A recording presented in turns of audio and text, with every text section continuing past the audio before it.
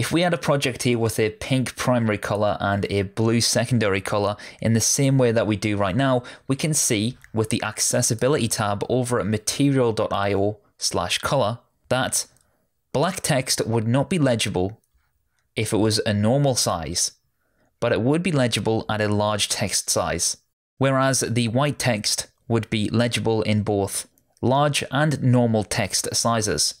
As we look at our blue, we can see that the white text is not legible at either large or normal text size, but the black text is. This means we're dealing with different contrast ratios and we might want to implement our own contrast ratio rules.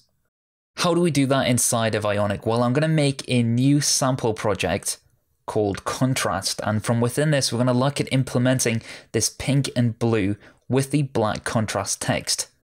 So I've run ionic start contrast blank and that will start a new project named contrast.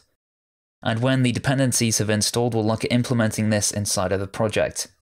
So within this project, I'm going to run ionic serve to start this in the browser and open this up inside of Visual Studio Code. So the first thing that I'm going to do is head over to our home page at home.html and I will change the title to contrast demonstration.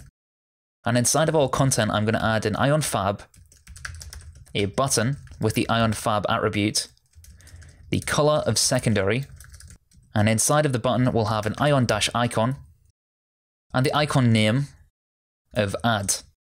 We'll put this fab at the bottom right. And if we take a quick look at what our project looks like, I'm using Ionic Lab for this, then we can see our application mirrors what we saw on the material.io site. Let's now change these colors to reflect this. Our primary color is this pink, and inside of our theme variables, we can change the color of our primary color, and our secondary color can be this blue. In order to give the navbar that color of the pink, we can say color primary, and we get our navbar color of pink and our fab button color of blue. But you'll notice that our blue does not have that black contrast as stated on material.io. So let's fix that. And we can fix this by adding some parentheses around our secondary and setting the base color to the blue and adding a secondary contrast.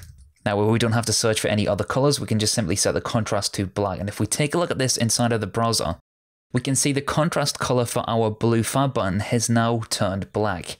Ionic does perform some contrast checking itself and we'll look to change this, but if we want to be 100% correct with the material guidelines, we can of course change that color.